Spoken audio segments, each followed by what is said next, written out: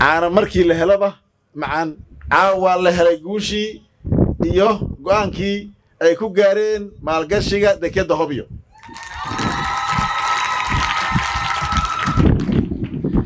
Sidii laga dardaarmay maadaama cabsi badan la soo maray dhowr mar dadkii haddii xataa ganacsadii lacagtii reesgareeyeen la xaqiijiyey waxay leeyihiin ha la hubiyo ha la hubiyo hawshii dad war waa la hubiyey guushiina waa la gaaray inta dhimanay soo gaara. Mar kale meeshan ma yaallo hobyo weligeedna hami iyo waxay iska ahayd melo la qabee. Inta go'aan loo qaatay oo dhaqaale loo loo diyaariyey oo ganacsada u soo istaageen hawshaan lama gaarin weligeed meeshii baa la soo gaaray welwel waa dhammaaday dardaaran waa ka dhammaaday waa la gaaray guushii aan geesaha ka istaagno aan najixinno waa intaas kaliya marka hore alxamdulilah rabbilcaalamiin ilaahay baan uga mahad celinaynaa na soo gaarsiiyey daafurka munaasabaddan taariikhiga ah inaan caawa u soo joogno.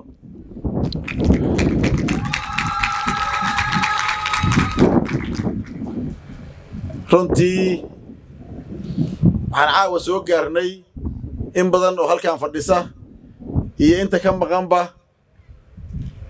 himilo muddo dheer lagu taamayey oo guusheedii caawa la gaaray.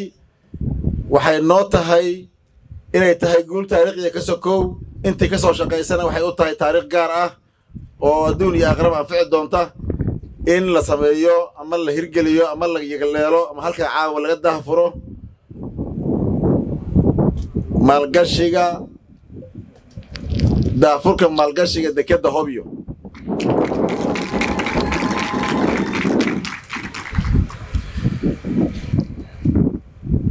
Dekeddan muhiimadda ay leedahay wax badan iskaga sheegi mayno oo runtii dee in badan baa caawa la tilmaamay oo la sheegay oo runtii aad iyo aad looga wada hadlay.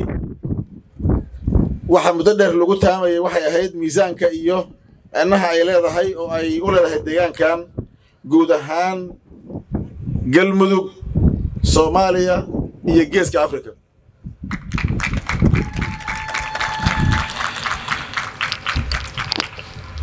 hobyo waa goob ganacsi. Waa bogcad ganacsi. Oo istaraatiijiya. Oo runtii muddadaas wixii looga looga fakarayay ay ahayd muhiimadda ay leedahay. Waxay u tahay reer galmudug fursad. Soomaaliya qaybo ka mid ah. Iyo sidii la sheegay gobolka oo dhan oo ay ugu horrayso dowladda aan dariska nahay oo haddana soo xigo dowlad deegaanka soomaalida ama kilinka shanaad iyo guud ahaan etoobiya oo aan dekad lahayn. Ilaahay fadligiis wax muddo dheer la wadaba ee caawa waxay joogtaa guul weyn oo la soo gaaray oo halkaas caawa joogta waxaan ganacsadii noo soo bandhigeen qiimihii ama wejigii koowaad dhaqaalihii lagu qiimeeyey inay labaatan milyan oo ka mid akoon ku jirto. In la sameeyey kambanigii hoggaami lahaa ama saldhuudhigga u ahaa maalgashiga dekedda hobyo oo xeerarkiisii iyo shuruucdiisii leh. Dowladda galmudugna waxay siinaysaa ama ay la gelaysaa heshiiskii oo waafaqsan nidaamka dekedaha iyo sida ay kambaniga iyo dowladdu u kala yeelanayaan ama xadka u kala dhigan bay la gelaysaa oo fududaynaysaa sida ugu dhow ama waqtiga hoo socdo insha allah. Sidoo kale waxaan halkan ka caddaynaynaa dhulkii dekedda loo asteeyey. Annagoo u mahad celina reer hobyo inaan loo kala tegayn isagana la samayn doono oo la astay doono oo sidii la sheegay si shaqadiisa u bilaabato aan looga dhaqaaqayn halka haddii layidhaa waxaan rabaa inaan halkaa uga mahad celiyo runtii ganacsatadii sharafta badnayd ee hadda kuwooda dhiiraday ay yihiin reer galmudug ee go'aanka adag u qaatay ee ku dhiiraday inay maal gashtaan dekeddii galmudug iyo soomaaliya qaybo ka mida iyo gobolka u adeegi waxaan leenahay ayadood faa'iidaysaan ood ka faa'iidaysaan oo ganacsiga midka ugu fiican ay tahay haddana waa idiin ducaynaa waxaan idin maalkiina allah idiin barakeeyo maalka sida cabdiraxmaan sheegay dee inaad adigu un ka faa'iiddo oo adigu haysato iyo inaad ka faa'iiddo ummaddana uga faa'iidayso waa laba shay. Waa kala qiimo badanta. Dhismaha dekeddani waa inaad ka faa'iiddo maalkaagii. Ummaddana uga faa'iidayso oo weliba dad ballaaran uga faa'iidayso. Runtii ganacsatadaas waa ammaanaynaa waa u ducaynaynaa dhiira dhiiragelinta siday u dhiiradeen go'aanka ay qaateen midnimadooda wadajirkooda iyo inay go'aansadeen inay horumar ka shaqeeyaan. Mudda waxaa la sugaya ama la islahaa dowlado ama dad dibadda ka yimid baa dhisi doona dekedda waa dhisi doonaan waana ka qaybgeli doonaan laakiin waxay rabtaa dadkii deegaanka iyo dalka ka soo jeeday inay iyagu uga horreeyaan dadka oo maal gashanaya. Taasna caaway dhacday ama ay ahaatay wakhti dheer kadib. Waxaan rabaa halkaa inaan baaq uga jeediyo dhammaan ganacsatada reer galmudug ganacsatada soomaaliyeed iyo dhammaan dadka ajnebiga ah ama aan soomaali ahayn inay ka maal gashtaan dekedda iyo dhammaan fursadaha ka jira hobyo oo aan deked keliya ku ekayn.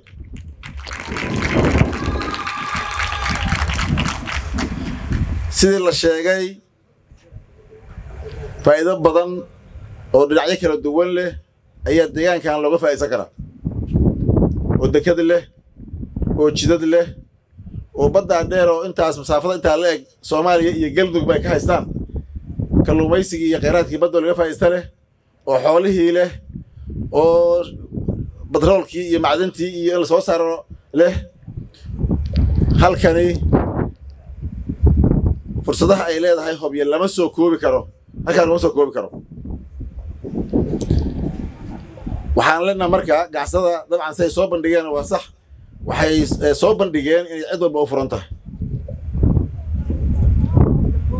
Oo aan amniga iyo siyaasadda iyo xasilloonida dalka khatar ku ahayn. Soomaali iyo ajnabiba inay u furan tahay.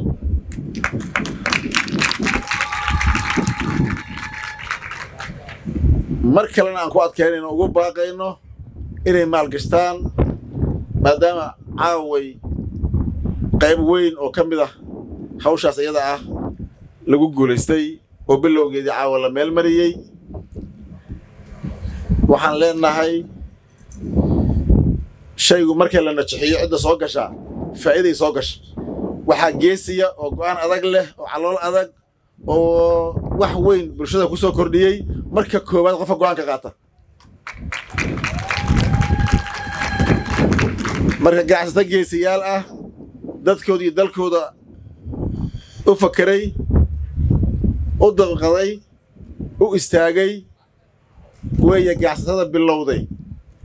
Ganacsatada kale oo ku soo biiri doonta ama cid kastoo maalgasho doontana waa mahadsan yihiin laakiin waxay imaan doonaan ama yimaadeen. Meel la bilaabay oo laga shaqeeyey oo lagu dhiiran karo oo la go'aansan karo oo go'aankii u sahlan yahay in la qaato in la maalgashado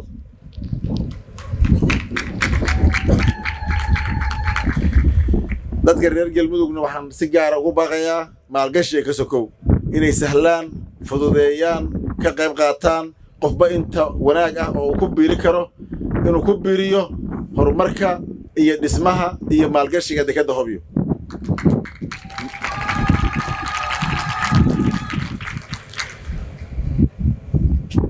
qof baa uga qayb qaadan karaa dhaqaalo fariin wanaagsan amni nidaam iyo maamul wanaagsan dowladnimada uu garab istaago qofba inba uga qayb qaadan karaa maxaa yeelay dekedda iyo ka faa'iidaysigeeda iyo masaafada looga faa'idaysanayo intu waxay u baahan yihiin amni xasillooni nooc walba leh. Waxaan caawa laga bilaabo isu dardaarmaynaa reer galmudug meelaan joognaba. Amnigeenna iyo xasilloonideenna iyo wadajirkeenna iyo horumarkeenna ciddii meel ka mudaysa ama dhib ku ah inaan wadajir saga qabanno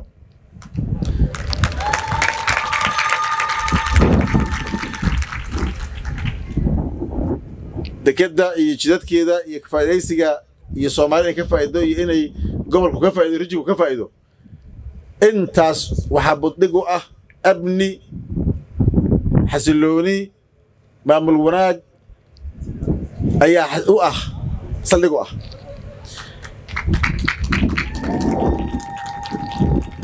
Mar kale meelaan joognaba reer galmudug waa isku hambalyeenaynaa waa isku bogaadaynaa guusha la gaaray intii ka soo qayb gashay oo ka qayb qaadatay oo ganacsatadaas sharafta badan geesayaasha ah deegaankoodu dalkooda u istaagay ugu horreeyaan oo siyaasiyiintii taageertay oo garab istaagtay oo ka qayb qaadatay iyo odayaashii iyo duubabkii dhaqanka iyo bulsho weyntii isgarab taagtana waxaan leenahay walaalayaal waa mahadsan tihiin waa mahadsan tihiin waa mahadsan tihiin sidii la sheegay. Haddaan nahay reer galmudug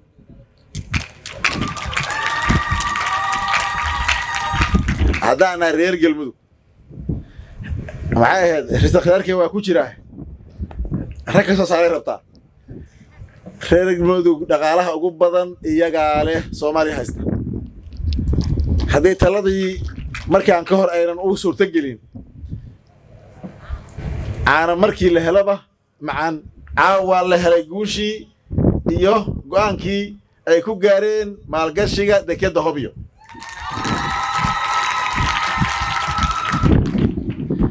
sidii laga dardaarmay maadaama cabsi badan la soo maray dhowr mar.